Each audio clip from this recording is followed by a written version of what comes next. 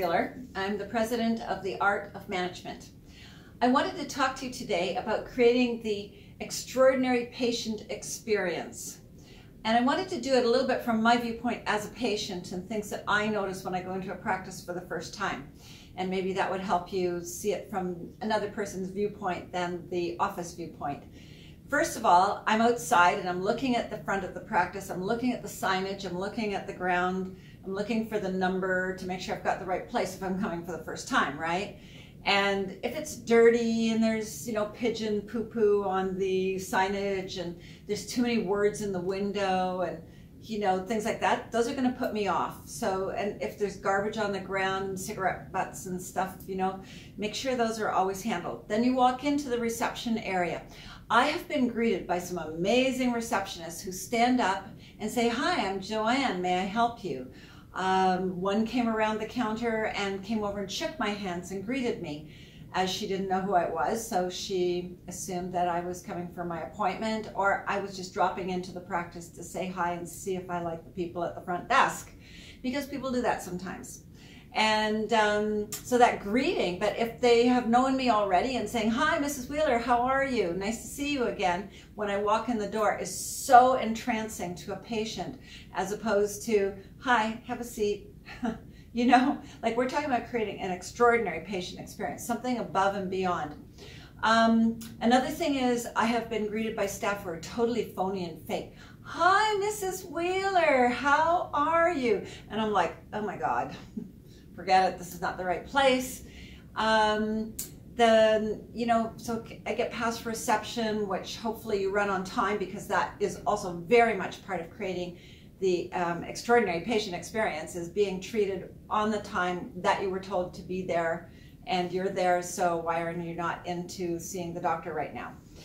Um, another part is so you get in with the doctor and the doctor has not prepared him or herself as to what I'm supposed to be there for because based on last time's visit. So they didn't look at my chart or, you know, look at the chart of the patient um, to say, okay, so this time we're supposed to talk to you about blah, blah, blah. You know, um, sometimes the doctor isn't quite ready and an assistant will take me in first. And sometimes they're like really like, how are you doing? And you know, like that kind of boring thing. And they're not really interested in me. I'm just like another person they're seeing today. That is not an extraordinary patient experience. Okay? It should be being interested in me. Didn't you say your grandfather was going in the hospital last time you were here? How did that go? You know, because you noted it in the charts. Um, so really caring about the person, really being interested in that person is, you know, even if you've seen 10 other people today or 15, I still should be a unique individual and be having somebody who's interested in me because that is, you know, how I feel as a patient. I'm not saying I'm a prima donna or anything like that because I'm certainly not. But to be recognized for who I am and, and, you know, ask questions by somebody who really is interested in me is different than somebody who's just making chat chat because they're supposed to until the doctor gets in the room. Do you know what I mean? And, um, and then the doctor, of course, greeting me and being interested and listening to me and asking me my thoughts on things and so on so that I'm engaged. Um, and then as I go out the door, I am leaving, I've paid, I've booked my next appointment, you know, a cheery goodbye, Mrs. Wheeler. It's you won't believe how these small things make a huge difference to patients. Of course, there's a million other things like having Keurig coffee makers in the office and the hot towel if you're at a dental office, the hot towel to clean your face with a mirror after you've been treated.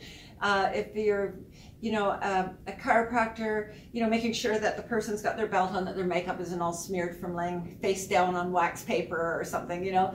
Um, these things are all super important. And I've had staff at the front desk say, Mrs. Wheeler, you just have a little spot here from when you were in the treatment room. You might want to have a look at that in, in the washroom, you know, which was really kind and caring. Other people have let me walk out looking like that. And that's like, that's not, that's so embarrassing when you look in the mirror in your car, when you get in your car and you go, oh no, I walked out like that. So, you know, there's a lot of care goes into that person and making it special. It will make your day as the doctor and staff go by better if each person is an alive person and, and you're working on that extraordinary patient experience every person that you see that day, I think your day will be a lot happier as well because you're making the patient happy.